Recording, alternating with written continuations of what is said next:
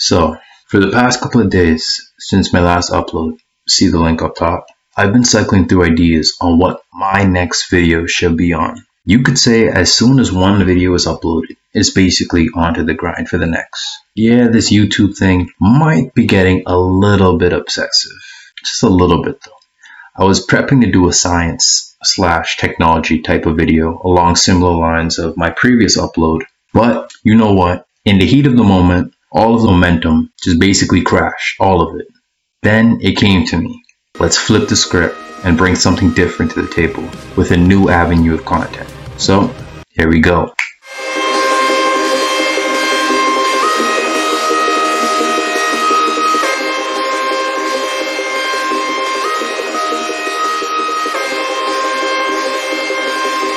Alright guys, back with another one. So basically yesterday I was in a bit of a rut. I couldn't deliver on the video that I wanted to. I just did not have the motivation for it. So I improvised and I went on an inspiration hunt and I think I found something new that I want to deliver in the future. But in this video I'll be showing you guys how I got to the point of finding my new content. So hopefully this benefits you guys and before I forget smash the like button.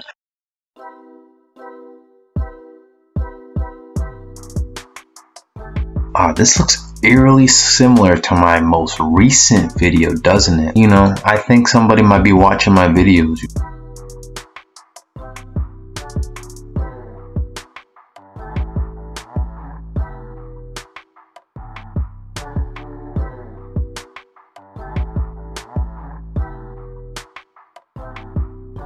Man, I probably see a Mr. Beast video at least four to five times throughout the search. Whatever he's doing, he's getting a lot of suggested content. He's doing something right.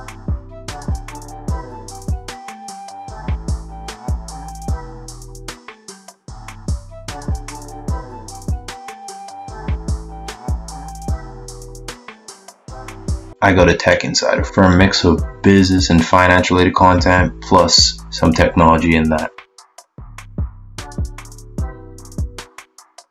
Tech Insider usually has some pretty good content, but nothing that I was looking for today. Accenture also has some pretty interesting information, more like high level technology. This is what's going on on a global scale in relation to technology as a whole. And this video in particular almost caught my eye as something I should look at, but nah, wasn't feeling it. Alright, question. Like, who would make an eye like this? This is pretty dope.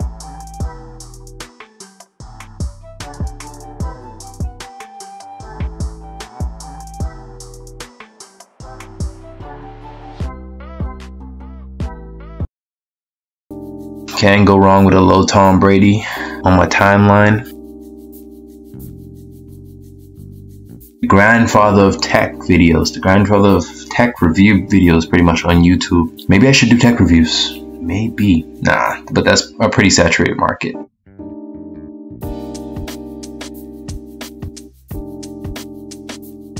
The biggest man on TikTok? Wait, what? That, was a wait, what moment?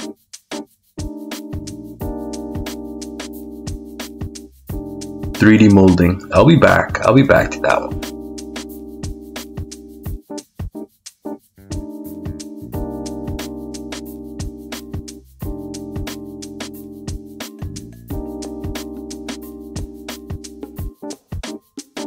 Huh.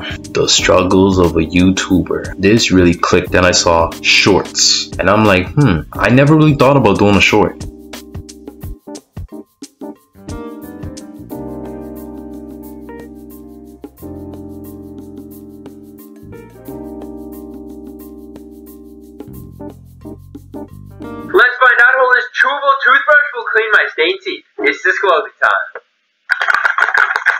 Let's check the before results.